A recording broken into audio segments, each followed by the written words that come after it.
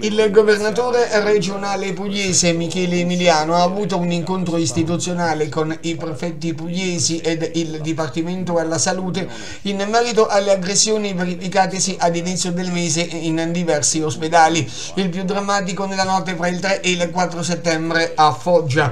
Nel corso dell'incontro è stata ribadita la necessità di dover predisporre in base alle risorse posti di polizia per dare una maggiore sicurezza nei vari pronto soccorso pugliesi.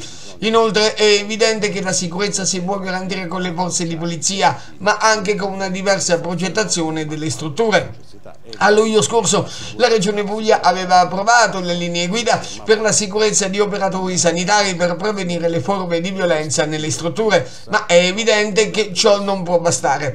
Va ricordato che solo due settimane fa il Ministro della Salute Schillaci aveva proposto di approvare in tempi rapidi l'arresto in flagranza di reato o in differita di inantesa con il Ministero dell'Interno.